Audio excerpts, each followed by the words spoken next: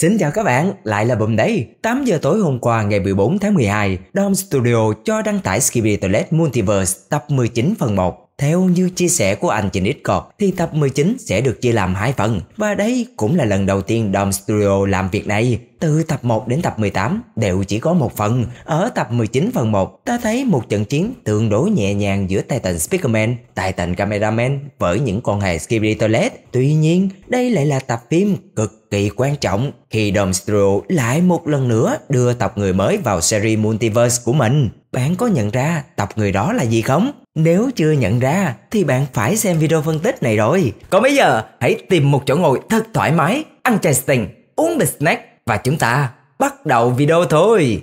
Mở đầu tập phim ta thấy lại cảnh tượng khá quen thuộc, đó chính là rạp xiếc bỏ hoang từng xuất hiện trong tập 18. Vì sao bùm lại gọi nó là rạp xiếc ư? Hãy nhìn dòng chữ này, nó viết là circus, nghĩa là rạp xiếc. À, mà bạn có nhận ra anh cameraman POV lần này khá đặc biệt không? Anh ta múa mấy cây bút trên tay. Còn nữa, bao tay nè, tay áo nè, mọi thứ đều rất khác lạ. Ai đây nhỉ? Là tộc người mới nha các bạn. Họ chính là Penman, dịch qua tiếng Việt, nghĩa là người viết. Thật ra, Domstro đã tiết lộ về điều này trong tập 18 rồi. Chúng ta cùng xem lại nhé. Trước khi tên IT Skibidi với tay lấy cái nón, trên bàn có một hộp bút ghi chữ men chấm hỏi. Penman. Dù chưa được diện kiến dung nhan của Penman, nhưng ở cảnh quay này ta có thể thấy tập Penman có gu ăn mặc rất hiện đại, bao tay đen, cổ tay áo màu vàng trùng màu với màu vàng của cây bút. Đương nhiên rồi, họ là penman mà, nên múa bút cũng phải điêu luyện gần bằng bùm. Mặc chiếc quần màu xanh dương, đôi giày tay hiện đại, bóng bẩy y như. À không, bờ mỏng có bóng. Tuy nhiên, Bùm vẫn chưa hiểu vì sao Penman lại có thể quay phim, vì vậy vẫn còn giả thuyết số 2. POV lần này là một nhân vật chính mới của tộc Cameraman. Nếu Plunger Cameraman sở hữu cây thục bồn cầu, thì anh này sở hữu cây bút, hay còn gọi là Pen Cameraman. Sao cũng được, ta tiếp tục phân tích nhé. Penman đang nấp sau những chiếc thùng gỗ để quan sát kẻ địch. Ok, lần này Bùm sẽ không nói ba tô cơm nữa. Trước mặt là ba con hề Skibidi tụm lại để nói chuyện với nhau. Mày vừa nói ba tô cơm xong Gì vậy cha nội? Ba con hề Skibidi tụm lại nói chuyện với nhau. Câu trước đó Lần này Bùm không nói...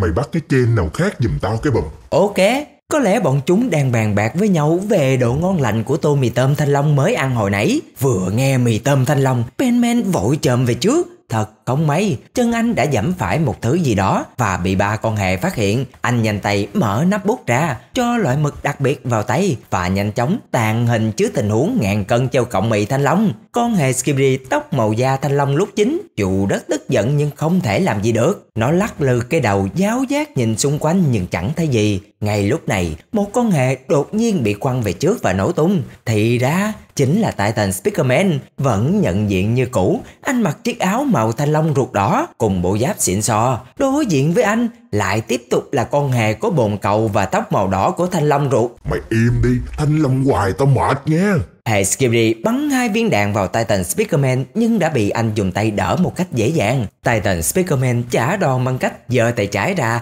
và bắn một laser về trước. Con Skibidi cũng không kém cạnh khi nhanh chóng né sang một bên. Wow, thì ra Titan Speakerman đã được nâng cấp khẩu súng ở tay. Thay vì bắn từng viên đạn, anh đã có thể bắn theo kiểu tia laser và chắc chắn sức công phá của nó sẽ mạnh hơn. Hai con hề thi nhau quấy rối Titan Speakerman, nhưng đương nhiên bọn chúng không phải đối thủ của anh. Anh dùng xích kéo một con lại đập xuống đất, bắn laser vào hai con còn lại. Sau đó là hàng loạt chiêu thức đánh và đỡ đòn của cả hai bên. Ngay khi giành được lợi thế, Titan Speakerman chụp đầu cả hai con hề Skibidi Toilet. Một con bị ấn đầu xuống vùng nước có màu da thanh long sống, một con thì bị phun lửa cháy đen như thanh long thúi. Nữa hả Wow, vụ nổ này có màu xanh như thanh long sống này các bạn. Sau khi xử lý xong hai con hề Skibidi thì đột nhiên một tia laser thanh long ruột vàng từ đâu tấn công vào Titan Speakerman. Khi Penman quay qua phải, ta mới biết được thủ phạm chơi trò tiểu nhân đánh lén chính là một con hề có màu thanh long.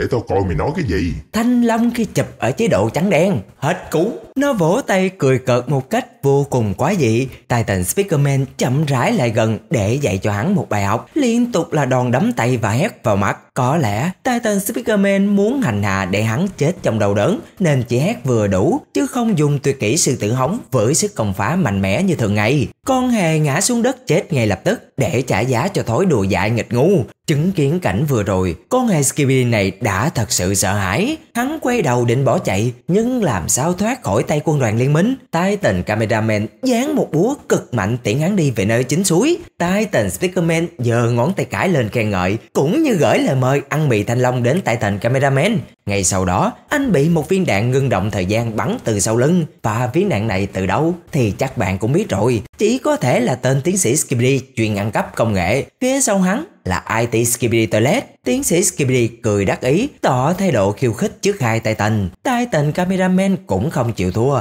Anh giơ tay ra, ngoắt lại để thể hiện. Có ngon thì nhào vô đây ăn mì thanh long. Và rồi, tập phim kết thúc. Trên đây là phân tích ngắn của Bùm về Skibidi Toilet Multiverse tập 19 phần 1. Cảm ơn các bạn đã xem hết video. Mình là Mì Thanh Long Bùm. Nhớ like và đăng ký kênh nhé. Bye bye!